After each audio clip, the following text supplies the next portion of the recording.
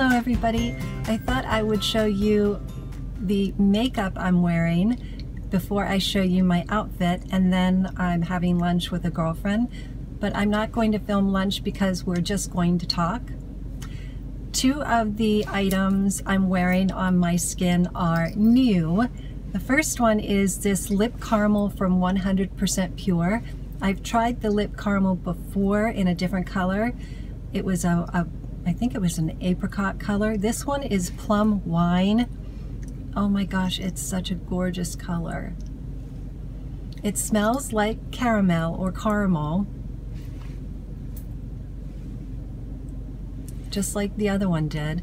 This one is a deep, deep, exactly what the name says, plum wine. I first First, I scrubbed my lips with a toothbrush.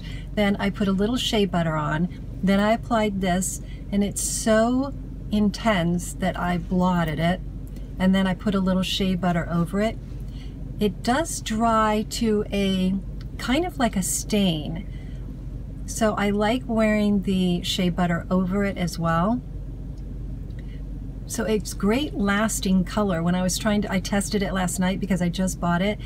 And even after I wiped off the lipstick, there was still stain left. So this is long lasting, but I think I would always wear it with a shea butter or, or a chapstick.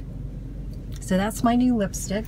My new blush is also by 100% Pure.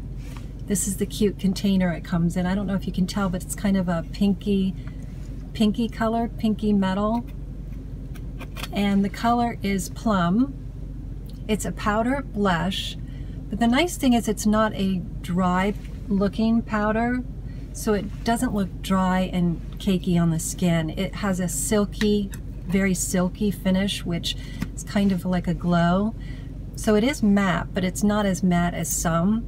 But I think on my skin, which is older skin, I think that's kind of nice because I, I think my skin is dry. I once said I thought it was normal, but I think it's dry because I really like to wear moisturizer.